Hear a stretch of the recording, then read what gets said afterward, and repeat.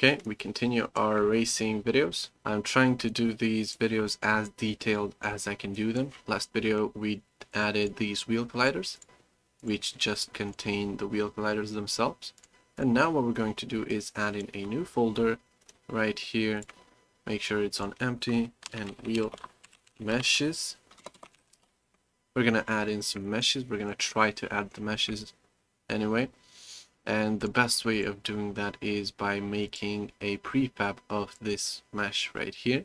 Since this is on 100 and it's not very convenient for us to do this.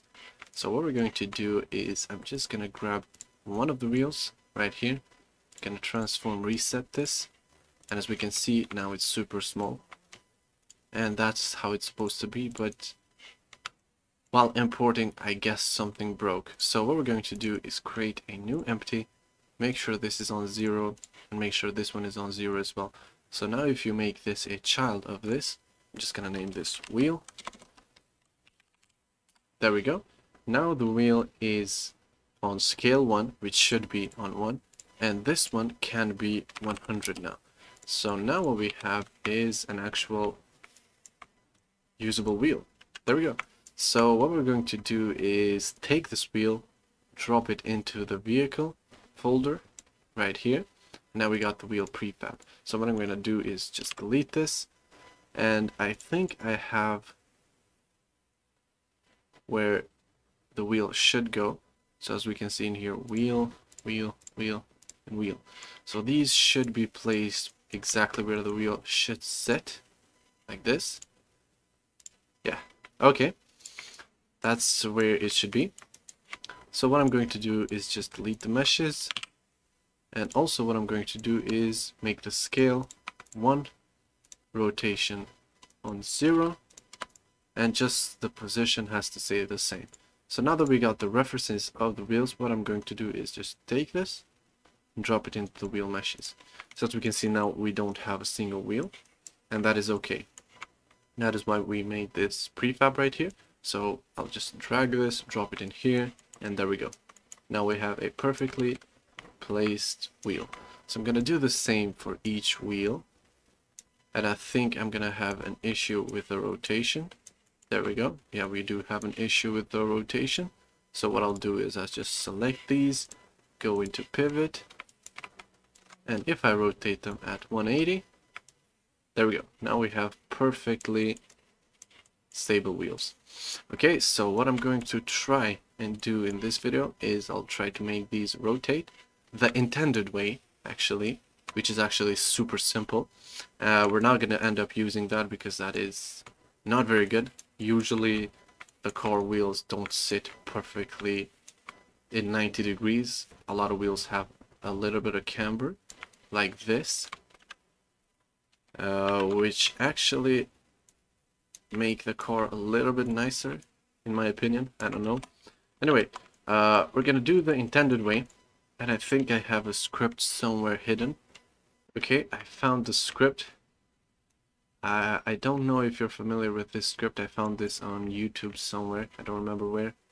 This uses a enumerator on, of drive type, which we will be using, but not this way. We're gonna make it global, so we can access it from anywhere we want and I think there should be oh yeah there it is. Uh this is the simplest code that we're going to build so far. Uh, we're not going to use this exact code. I'm just repeating myself. We're not going to use this. But uh, we are going to use some parts of this code. So I'll open up my car engine. And actually the best way of keeping ourselves even more cleaner than this is by adding these components as we did in the previous. So I'll just sort these a little bit better. So we have the rigid body, the car manager, and then we have the components. So the car will have a new script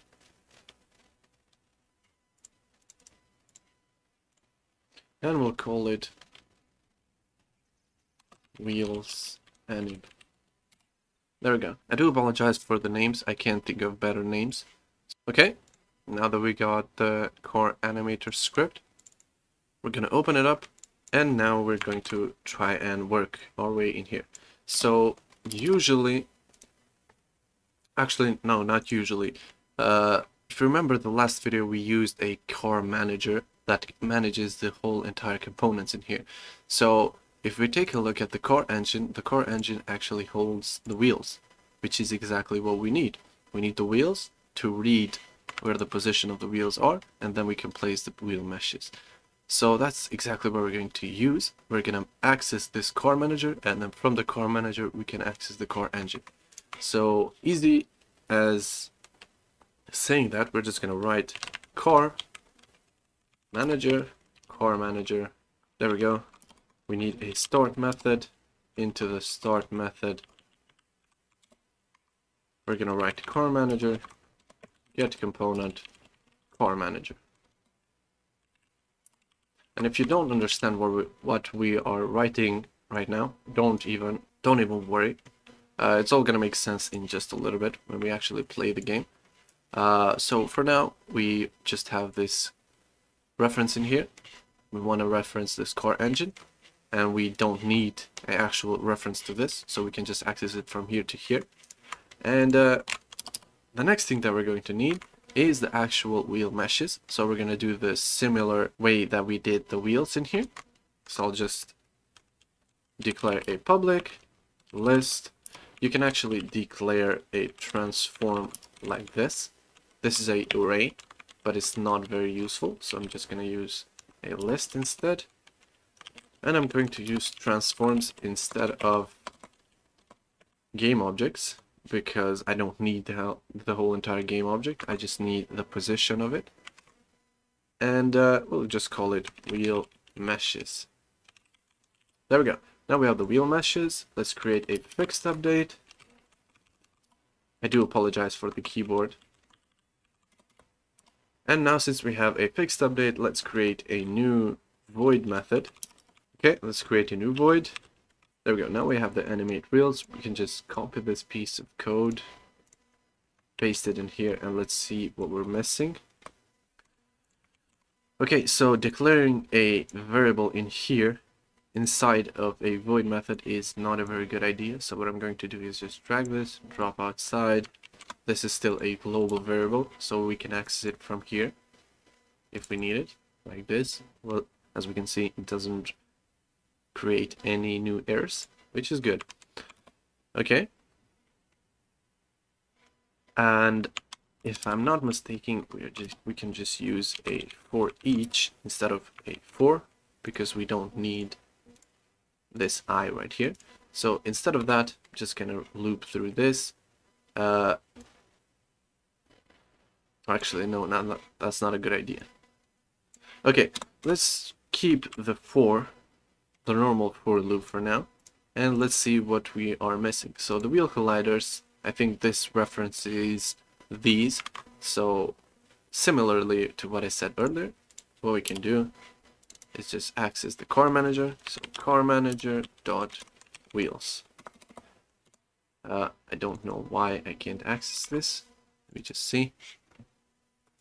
Wheels. Wheels is a public variable. Oh, the car manager. The car manager does not hold the car wheels. Okay, so let's declare a car engine. There we go. At the start, after we get the car manager, we need the car engine. So car engine, car manager, dot car engine. There we go. We're just referencing our components like this, which makes it a little bit more cleaner to work. Okay, so now that we have the engine, we can just access car engine dot wheels in the index of i. And now it just gets the world pose. This is what is going to change in the future, but for now it's, it's going to work like that. And we have the wheel mesh. Wheel mesh is, and I think, it, I think this should work fine. Let's see if it actually works if I'm not mistaken, I should do a if statement right here for the rear wheels. But let's see if it works like this. So let's go back.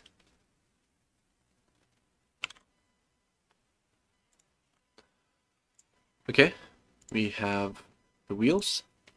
We have a new list. Let's grab the wheels, drop them in here, and let's hope for the best. Okay, we don't have a error, and let's see.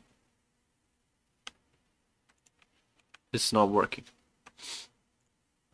The reason why it's not working is because I forgot to call it in fixed update. Sorry about that. Okay, there we go. Now we have working wheels. Good thing is that it's working. Bad thing is it's not working very well. I think the reason why it's not working is because of the sorting, or actually the, yeah, the actual sorting. Let's see. The first wheel is the rear one, and it should not be the rear one. It should be the front one. There we go. Here's our problem. This should be the first one. This should be the second to last one. Can't place it.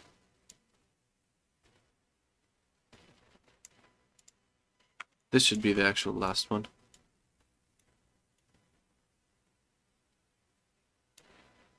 I can't place it. It's doing like this. This should be the first. This should be in here. This should be in here. This should be in here. Okay. And let's check this.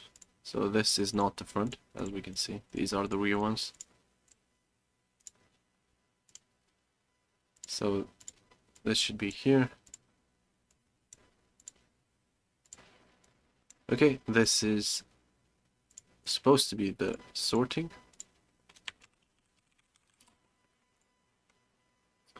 And now let's fix this one more time.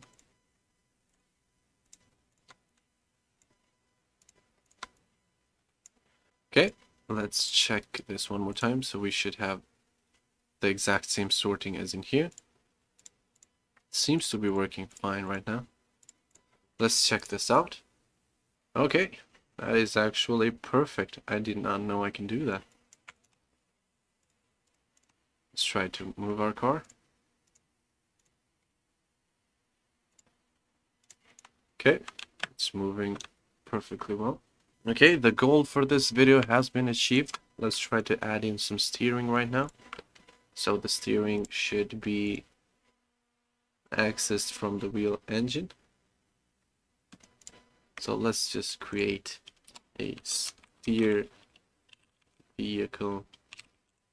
There we go. We have an empty method.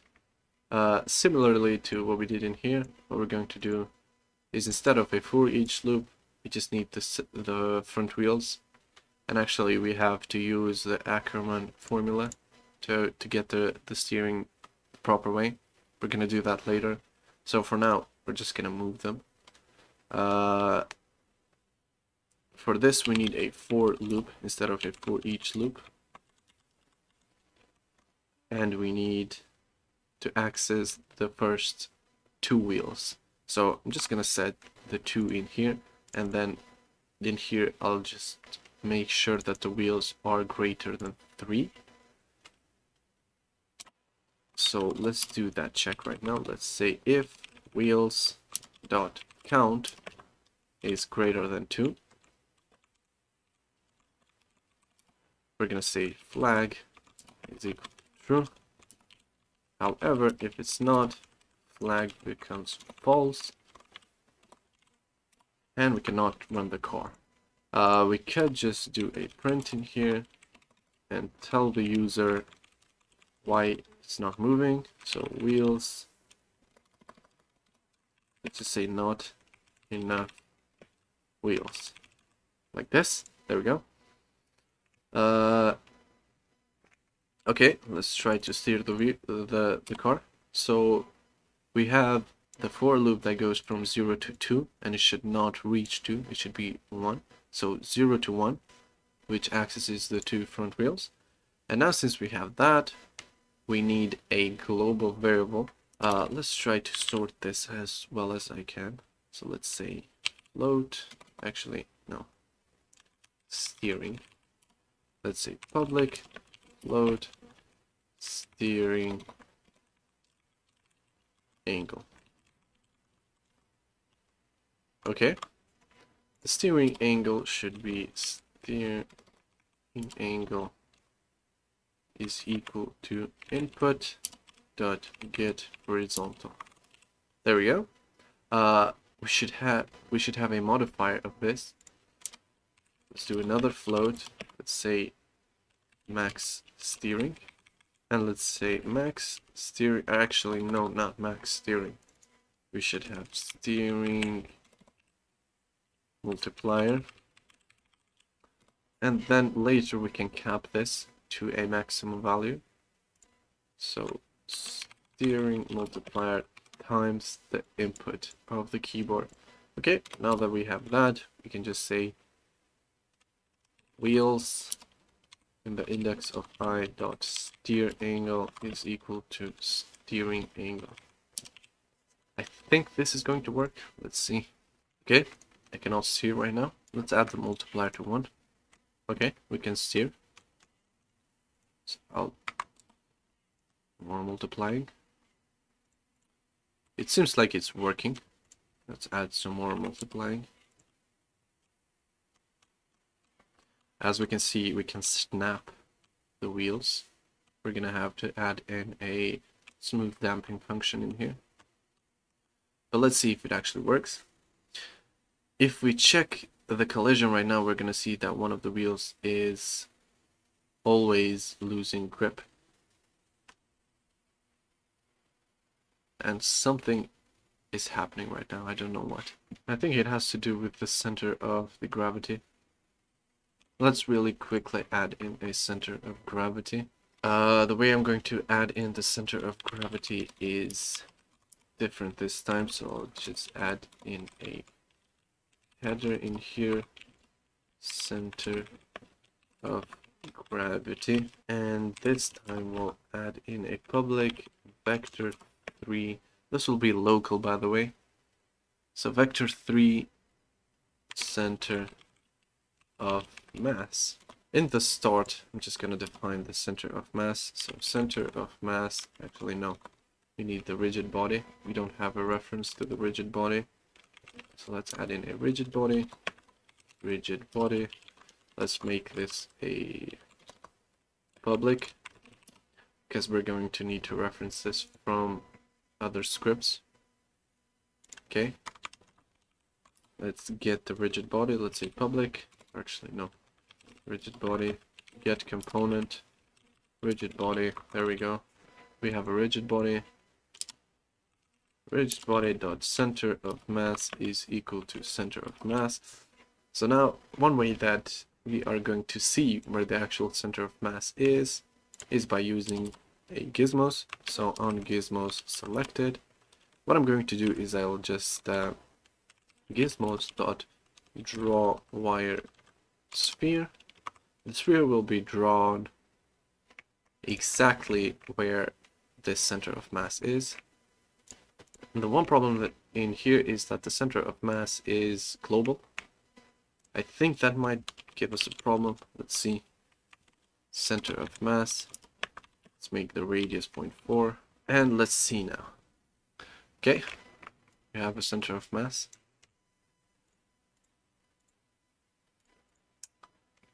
Let's try to lower this down. Like this. Okay. Now, if this works correctly, the car should not sway as much. Let's try to steer.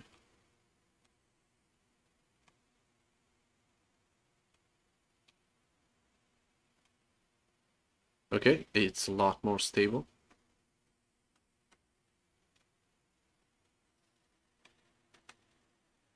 Okay.